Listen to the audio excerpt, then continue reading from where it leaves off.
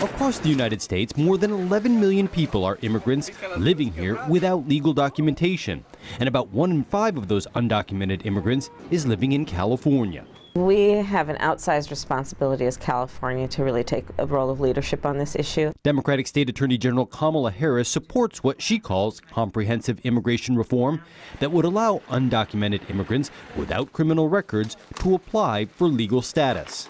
And we need to create a path for them to obtain citizenship. They can't jump in front of the line. They need to get in the back of the line. The line to which Harris is referring is the line of people who have applied for green cards from abroad.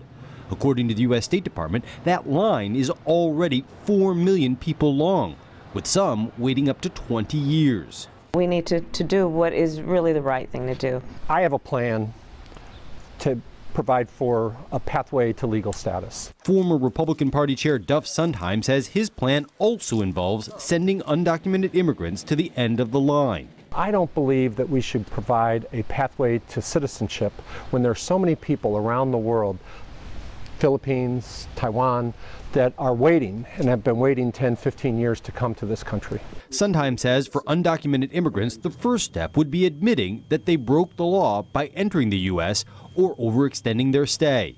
So you go before a judge, say that you committed a crime, then for 10 years, you're crime free, you try to get a job, and at the end of that 10 year period, you have legal status. In general, I would be supportive of that, but under certain circumstances.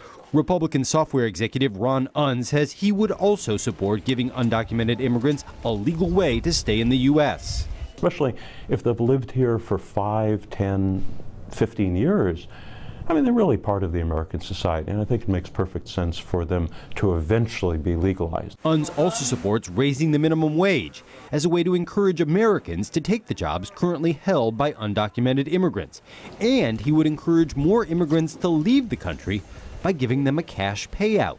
Maybe 5,000 one time, 10,000 one time. I mean, that benefits the state. It solves, helps to reduce the illegal immigration problem. And also it means that people who you know otherwise would suffer here in poverty can go home with you know a nest egg. A pathway to citizenship is code for a pathway to gridlock. Tom Del Beccaro, another former Republican Party chair, says it's a waste of time trying to pass comprehensive immigration reform this is too divisive a topic, and it's not going to happen for years. Instead, Del Beccaro would focus on making it harder for foreigners to get U.S. visas. You know who used uh, the visa system or overstaying visas? The 9 11 conspirators.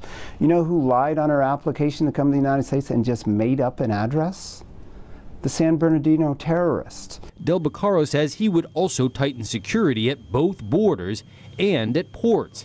He says that's the only part of immigration on which Americans can currently agree.